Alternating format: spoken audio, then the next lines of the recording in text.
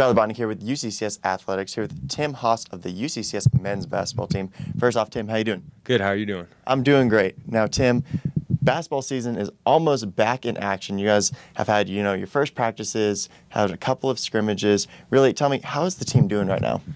We're doing uh, really well. We've got a very young team this year, uh, but we've been having really high paced practices and uh, definitely trying to sort of work out the, uh, you know, the kinks here early. But we've been doing a good job here during the preseason and working hard every day. So we're we're very uh, positive, looking uh, forward to starting the season off. And looking just a little bit, little bit back at last year, you guys lost Alex Welsh. Dalton Patton and Kendall Godley, three main scorers and contributors on this team. So really, who needs to step up this season, and what's the identity of this team? Uh, as I mentioned, we're a very young team, and obviously those three guys, uh, all three of them, got the opportunity to continue their careers professionally over in Europe, which is awesome for them. Uh, so we're looking for our young guys to step up and make some immediate impacts on the team. Uh, definitely Brandon Malone looking to continue his his good shooting here. We got Dalton Walker starting to step up, and Blenda Veely, and as well as a couple freshmen that are going to step in. So continue looking for the the things from our returners, and then also looking for our freshmen to contribute in a big way this year. And talking about the freshmen, you guys have three freshmen this year uh, Jeff Kelly, Padilla Wang, and Will Ross, and then a transfer, Justin Smith. Really, what do you expect from them, and how are they going to contribute this year? Uh, well, actually, uh, Will Ross is going to redshirt. Uh, we have Chris Moody here. He's going to be um, he's going to be our freshman this year, as well as uh, uh, Ed from Australia, um, and then Padilla and, and, Jeff, as you you mentioned. Um, so all those guys bring definitely a, a pretty uh, wide array of skill sets to our team. So they're going to be helping us in, in a lot of different ways, whether it's rebounding or shooting, or um, you know just making sure that the ball is getting moved around well, and and, and they I, I believe that they all know their role very well. So uh, we should be looking to have a good season from them.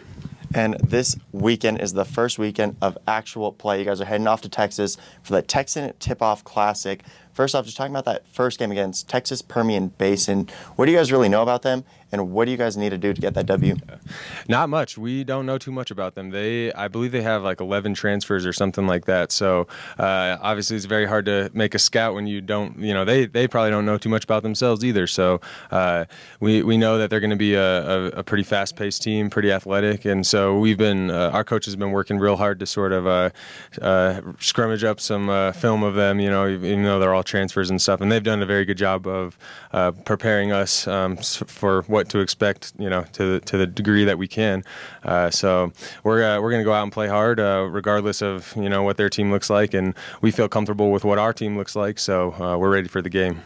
And then after that, you guys are going back and to Tarleton State, and this is the third year you guys have played them and you've played them in the NCAA tournament, played them in a couple of beginning games. Really, what do you guys expect from them? And is there a little rivalry going on? Uh, I don't know if I would call it a rivalry, um, since we got the distance. You know, they're obviously in a different conference than we are, but uh, it's it's been tough playing down there uh, the last couple times, no doubt. Um, they have a great fan base. Their their town really comes out and supports them them pretty uh, uh, pretty strongly during the game. So we we uh, feel more comfortable going into it this time now that we know what to expect.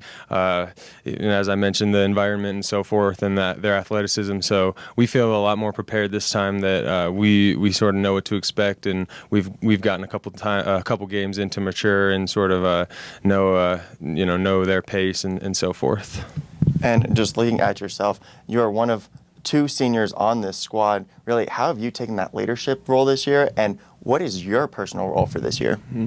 Uh, well, as I've mentioned a couple times, we're a young team, and um, I don't I don't expect to be coming out and scoring you know 25 points a game or anything. Uh, I see my role on the team as a, a, leader in developing the younger guys on our team and developing developing them into the leaders that I know that they can be, uh, and, and, really just getting the full potential out of them. So my goal for the season personally is just to leave them in a better spot than uh, they came into um, you know in August when when they stepped on campus. So, uh, Coach Culver's really been stressing building a, a, successful program, and you can't just do that overnight. You know, you got to bring in the right guys, and, and he's done that. So, um, I've been very fortunate to you know get to play all four of my years here, and um, I'm excited to help develop them into better players this year.